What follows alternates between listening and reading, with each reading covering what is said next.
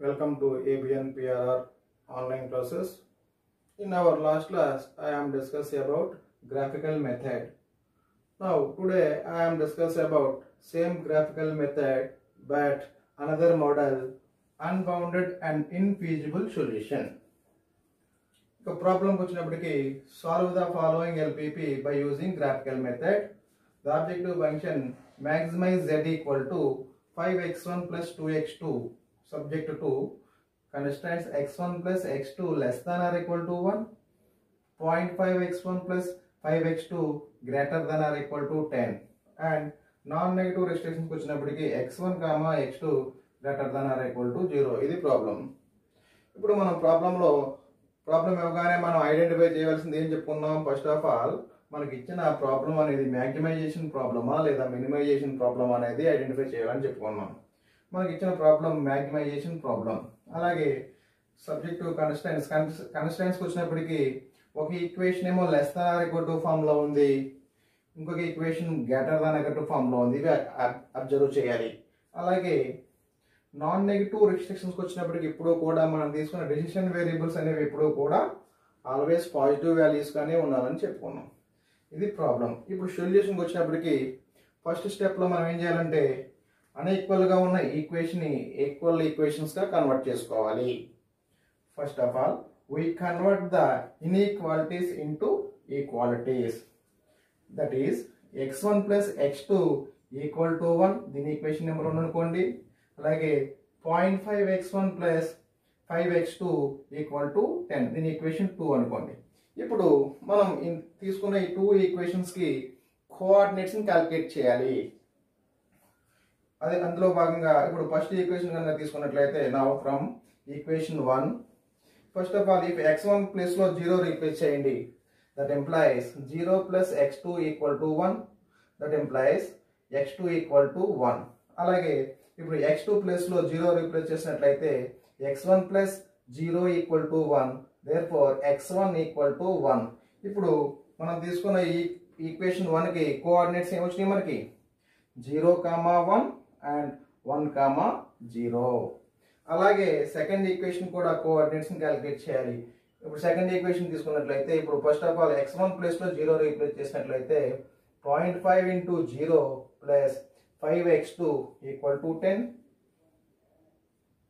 that implies 5x2 equal to 10 therefore x2 equal to 10 by 5 equal to 2 అలాగే ఇప్పుడు x2 ప్లేస్లో zero తీసుకున్నట్లయితే point five x one plus five into zero zero that equal to ten that implies point five x one equal to ten therefore x one equal to ten by zero point five that equal to twenty ఇప్పుడు మనం equation తీసుకున్న equation టూకి కోఆర్డినేట్స్ని calculate చేస్తే ఏమొచ్చినాయి మనకి?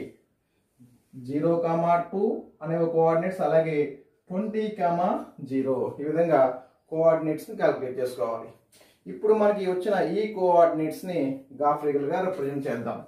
ఇప్పుడు graph కనుక తీసుకున్నట్లయితే ఎక్స్ యాక్సిస్ని ఎక్స్ వన్ ప్లేన్గా తీసుకుందాం అలాగే వై యాక్సిస్ని ఎక్స్ టూ ప్లేన్గా తీసుకుందాం దట్ ఈజ్ ఆరిజన్ అలాగే స్కేల్ కనుక తీసుకున్నట్లయితే మనం తీసుకున్న ఈ- ఈ కోఆర్డినేట్స్లో ఎక్స్ వన్ వాల్యూ అలాగే x two value maximum values ఎంత అనేది చూసుకోవాలి.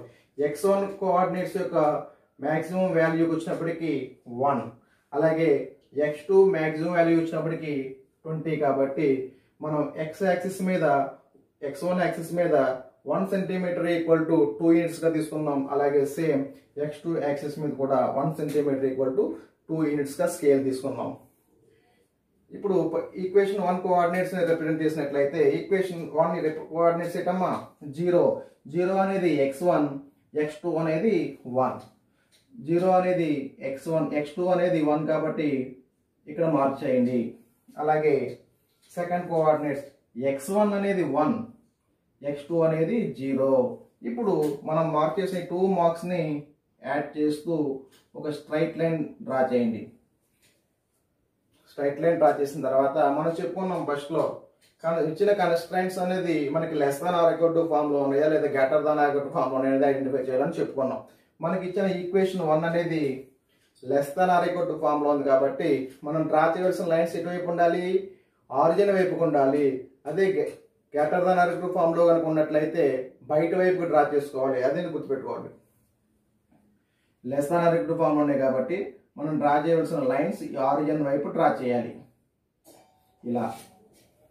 అలాగే సెకండ్ ఈక్వేషన్ యొక్క కోఆర్డినేట్స్ని రిప్రజెంట్ చేసినట్లయితే second equation coordinates x one zero x two two x one zero x two two అలాగే next coordinates x one twenty x two two x two zero ఇప్పుడు ఈ టూ లైన్స్ని కలుపుతూ లైన్ డ్రా చేసినట్లయితే